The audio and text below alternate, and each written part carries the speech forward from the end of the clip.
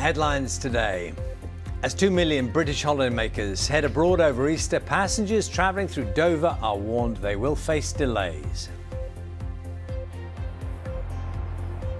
Well, it's already getting busy here at the port. Bosses will be desperate to avoid the scenes we witnessed last week when coach passengers had to spend hour after hour queuing up, desperate to get across the channel.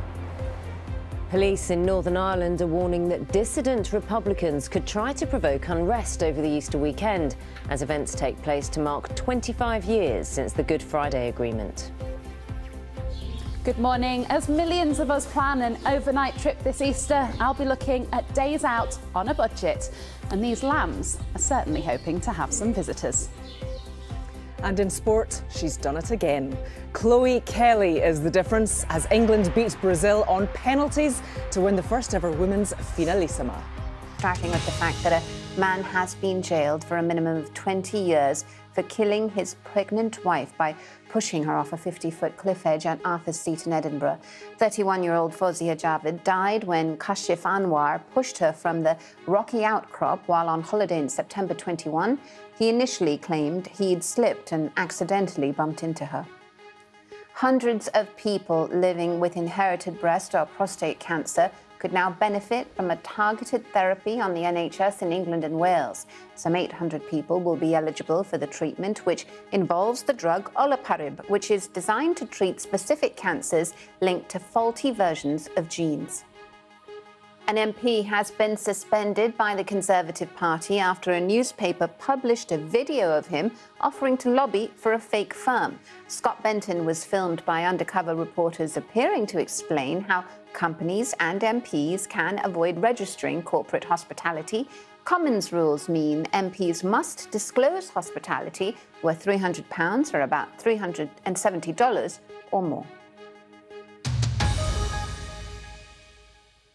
Well, Buckingham Palace says it will cooperate with an independent study into the links between the British monarchy and the slave trade in the 17th and 18th centuries.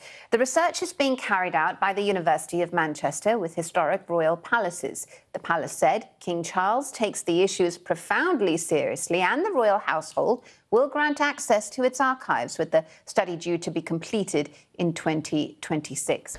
An environmental group has hit out at Sainsbury's after the supermarket swapped its mincemeat out of hard plastic trays into vacuum packs.